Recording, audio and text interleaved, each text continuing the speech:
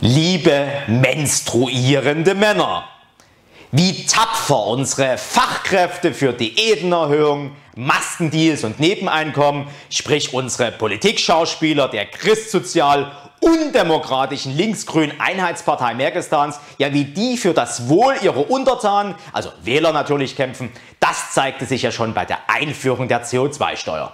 Steigende Spritpreise, die verbesserten doch schlagartig die Luftqualität und sorgten zusammen mit der gesiebten Luft, die durch die Bußgeldschutz-Gesichtswindel strömt, dafür, dass wir endlich mal wieder kraftvoll durchatmen können.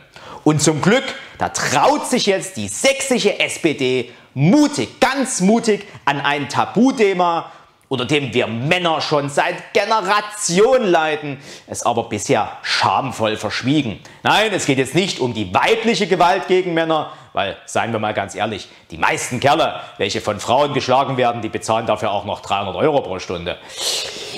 Doch auf die von niemanden, und zwar wirklich niemanden gestellte Frage, wie entsorge ich als Mann meine benutzten Monatsbinden und Tampons, fand der sächsische SPD-Landesparteitag eine Antwort.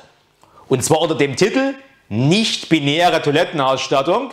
Da beschlossen die Sozialdemokraten die Aufstellung von Mülleimern für Periodenprodukte auf allen öffentlichen Herren-WCs.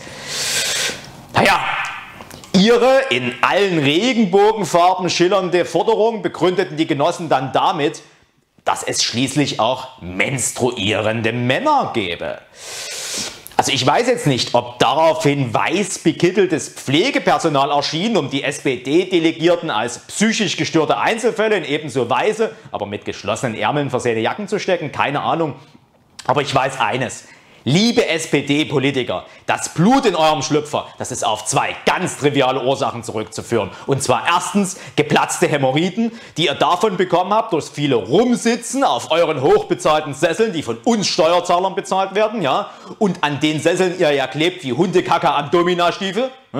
Und zweitens ein wundgeleckter Rektalbereich. Das ist die übliche Nebenwirkung von opportunistischen Speichelleckern, welche bis zum Hals in eurem Mastdarm kriechen. Und ganz ehrlich, ein Mann, welcher meint, bei ihm setze die Regelblutung ein, der benötigt keinen Bindenmülleimer, sondern einen verdammt guten Psychiater.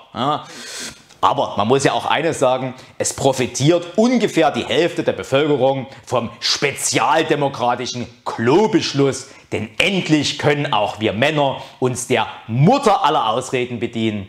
Sorry, aber ich habe meine Tage. Und dann fragt sich natürlich, heißt es zukünftig dann Herrinnen binden? In diesem Sinne, bleiben Sie kritisch, Ihr Elmar Gierke.